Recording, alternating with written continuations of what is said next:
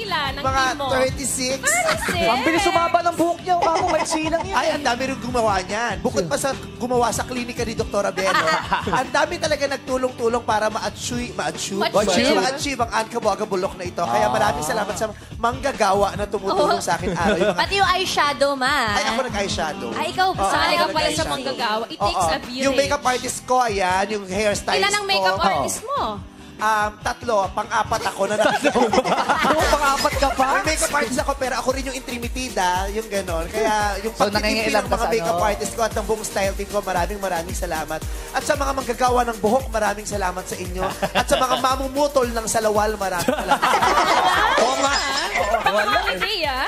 Baka madali eh. Ganda mo, ma. Pa rampa ka nga, ma. Para fashion model. Nakakahiya. Tyra Banks. Tyra Banks. Boracay. Oh!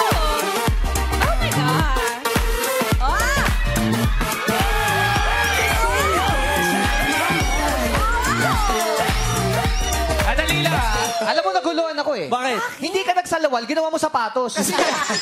Jeans naging yung, sapatos. pa, yung pantalon, pinutol, pinagawa ko na ng sapatos para mapakinabangan pa naman yung nalag natanggal. Yung totoo, wallet mo nandito, no? Ay, wala, wala. Cellphone, Uy, cellphone. Baka nakuha niya yung mga pamana ko. yung mga pamana ko sa mga bidaman. mga bidaman. Kaya sila. Ayun sila, oh. Kasi nalaman ko na yung mga bidaman, kaya kaya lang magpaganda tayo ng very. Lalalala. Sa isang linggo akong mawawala para hindi nila ako makalimutan. Kaya pala may nakita ko alaha sa gilid ah. Ang tawag siya na ipakimkim. For the moment. Okay.